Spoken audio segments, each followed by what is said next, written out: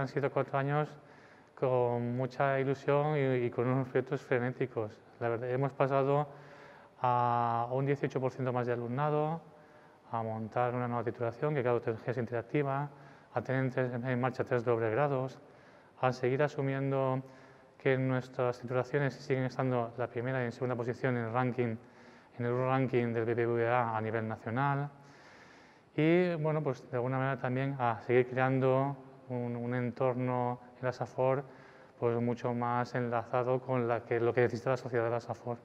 Seguimos trabajando en, mejorar los números de, de, estudiantes porque pensamos que podemos tener capacidad para unos 2.000 estudiantes.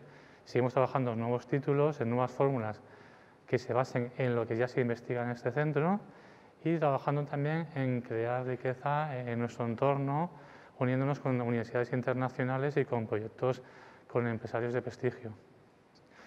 De cara a, nuestro personal de Administración y Servicios, nosotros lo hemos tenido muy claro. Llevamos cuatro años eh, peleando por lo que consideramos que es justo. Si no tenemos un personal que en condiciones y con unos servicios cubiertos con la máxima calidad, el sistema no funciona. La Universidad Politécnica no funciona, el campus tampoco. Y seguiremos peleando por lo que consideramos que es justo de cara al funcionamiento de nuestro campus y de cara incluso a la proyección personal de cada uno de los trabajadores.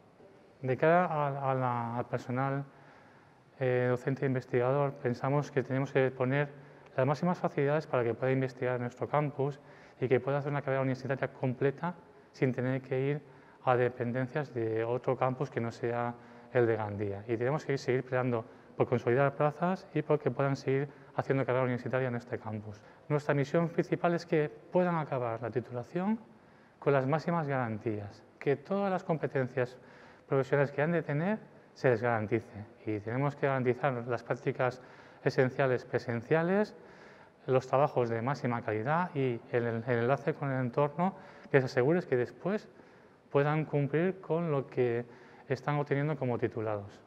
En algunas titulaciones, en el caso de prácticas, pues ha habido una oportunidad con el tema de la pandemia, sobre todo las más tecnológicas, porque han abierto otras vías de, trabajo que no existían. Al acelerarse las telecomunicaciones o las tecnologías, pues eso ha producido que tenga más facilidad en, en algunos sectores prácticos.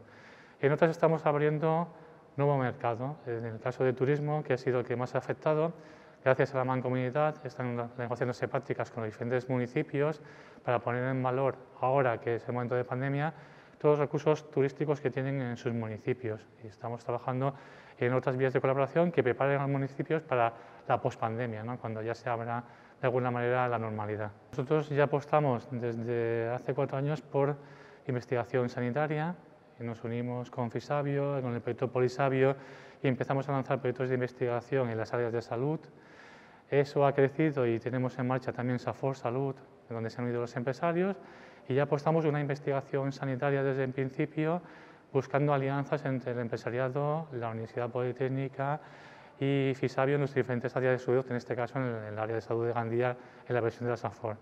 Estamos muy concienciados en la importancia y sabemos, tenemos más proyectos que van a ir a más seguro.